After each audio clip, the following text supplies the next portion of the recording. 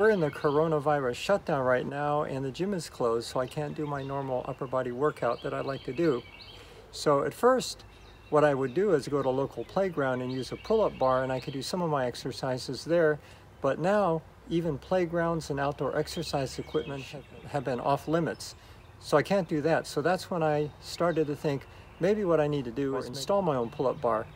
I checked online and there are different commercial products available, but they're kind of expensive. And when I think about what I want to do, I really need to have an outdoor pull-up bar. So that's when I decided to make my own outdoor pull-up bar. So that's what this video is about. Basically, the three materials that I need are two trees that are spaced the correct amount apart, which I will show you a little bit later. And then I needed a pole and I decided to use bamboo, an easily available material like this because my friend has a bamboo patch. And that would be my pull-up bar. And then the only other thing I needed was some rope.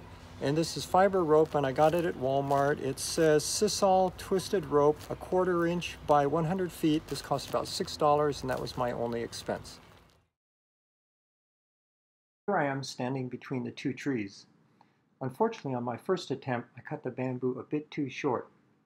I found out that in order to tie the lashings, the bamboo must extend well beyond the outer side of both trees. I had another piece of bamboo, but it was only about an inch in diameter, a little smaller than I wanted, but I went ahead and I tried it anyway. So this was like a trial run. And as you'll see, although the smaller diameter bamboo flexes, bamboo is amazingly strong and it has plenty of strength to support my strength, about 150 pounds. But I prefer less flexure, so it was back to the bamboo patch for a larger diameter piece. Okay, got my bamboo. On my first attempt, I used a one inch diameter bamboo pole like this, which worked, but it was a little bit too flexible. So I decided to go back to the bamboo patch and as you saw in the video, and I cut a one and a half diameter bamboo pole like this. So now that I have a bamboo pole that is in the correct length and the correct diameter, the last key step I have is to lash it to the trees.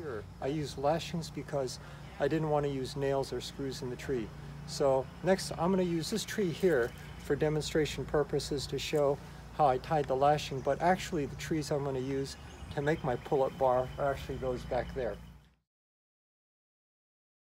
The lashing includes four steps. First, you tie a clove hitch that will anchor one end of the rope to the tree. Then you tie the square lashing around both sides, and I'll do like three or four wraps. And then you do what's called the frapping, which tightens up the square lashing on the back side of the tree here. And then you finish off with a clove hitch at the end. To tie the clove hitch, I'll take the anchor end of the rope, the short end of the rope here. I'll wrap it around like this and I got to get plenty of length because it's got to wrap around twice. And what I do, it's on top now, but I'll cross it over like this. So I make an X here. Then I'll bring it around the tree again a second time underneath. And hopefully you can see okay. And so now I'll bring it around again. And to tie the clove hitch, I put this loose end of the rope under the X in between the two left legs of the X. That's the clove hitch. Now I will tie the square lashing. So I will take this long end of the rope and tie it around the bamboo pole here and so you can see why the bamboo pole has to extend beyond the end of the tree. So I wrap it around like that. I pull it pretty secure. Then I will pull the rope around this side and I will wrap it over the top of the bamboo pole on the other side like that and then I will bring it back now around the bottom of the previous one wrap it around for a second wrap like this. And then I will wrap it around. So I've done one complete turn so far. Now I'll do the second wrap like this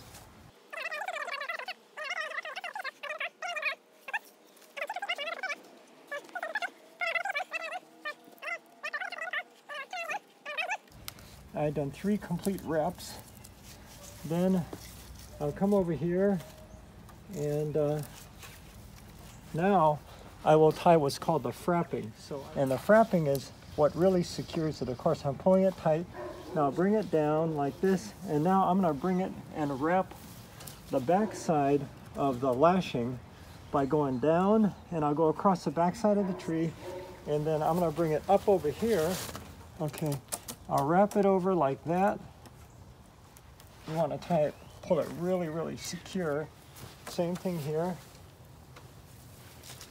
Frapping, pull the frapping secure. Put it over again. And then I will do another frapping over here. Pull it secure.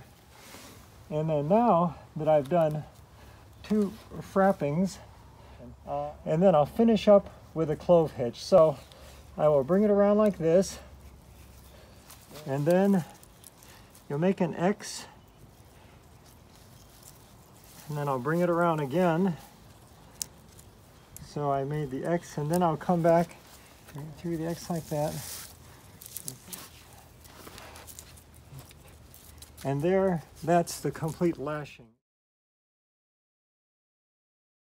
Well, I'm done, and here's a close-up of my square lashing on one side.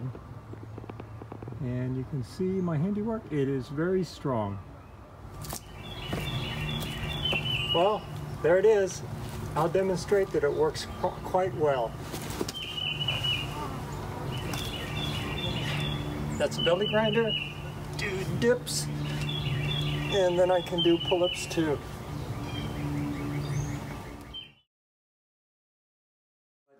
I would really recommend if you want to learn how to do a square lashing the correct way, you refer to these two videos which were very helpful for me. Uh, one of them is made by ITS Tactical and it's called Build a Weight-Bearing Structure with a Square Lashing. And then there's another one called Survival Know-How, that's the channel, and the title of the video is Most Essential Bushcraft Knot, the square lashing. And I'll try to include links on, on the comments below. Finally, I have a disclaimer. If you decide to do the same thing, you're going to have to do the research to get the right materials that have enough, enough strength to support you. You're going to have to learn how to tie the lashings correctly so that you can make a safe structure to allow you to do what you want to do. So this was just simply uh, an example of how I did it myself and maybe it can give you some ideas. So thank you for watching. Bye.